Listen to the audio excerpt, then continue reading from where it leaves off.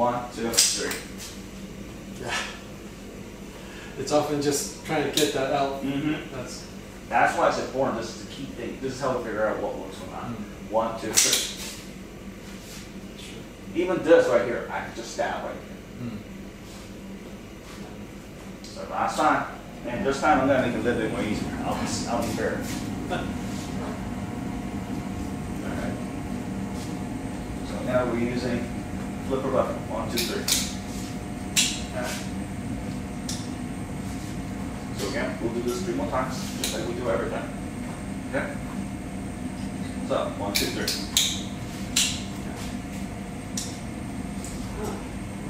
So I'm again. trying to figure out what's, what's yeah, so because you also need to press your foot Mhm, in Exactly. So as soon as I feel something, Right. So we go same count, you call it, you call it, you call it, one, two, three. One, two, three. That time would Let's do it again. It might be that you're not used to this, so do it. one, two, three. I, okay, my, my finger's not on the trigger, I guess. One, two, three. So how did you get your, what's your finger? So again, this is the reason why I said Rob's a genius. Okay. So my, my thumb is it right here at the logo. Okay, so.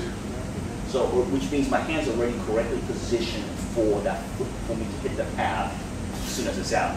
As soon as it's out, I hit the pad. My finger is nowhere near the liner or the one it's being deployed. I think I might know what's going on. So try this one. Guarantee you do a whole lot better with this one. So from here, I know what it is. It's um, it's my uh, this thing wasn't too tight.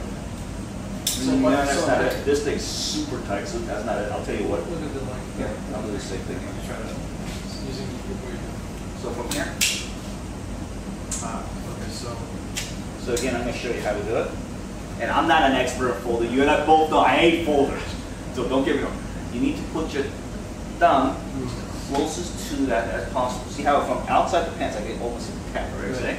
From here, just kind of keep keep holding on to that position. So again, pockets on. So from here. So you need to ride high this to the pivot point as possible. Two, your fingers cannot get in the way of the deployment. So as soon as it's out, it's out here and you simply lunge in. You grip also onto the paracord as an extra assistance so to retain the weapon and simply lunge.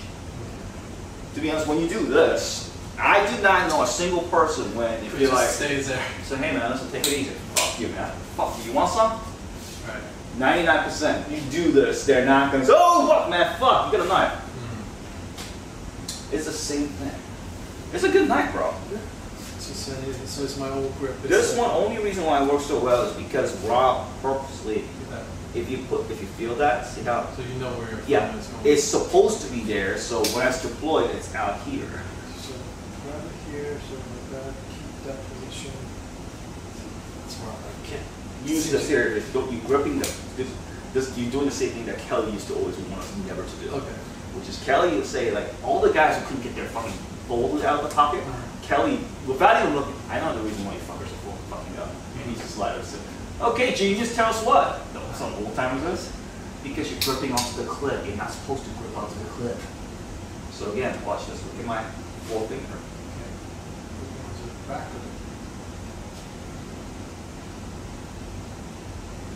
And if you have a lanyard, what you should be gripping onto, so thumb on index, mm-hmm.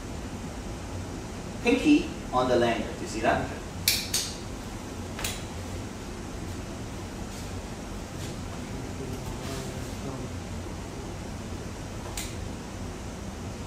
When I do shift my finger. It's way too far. Yep. So that's my This is where the thumb. There you go, hit it.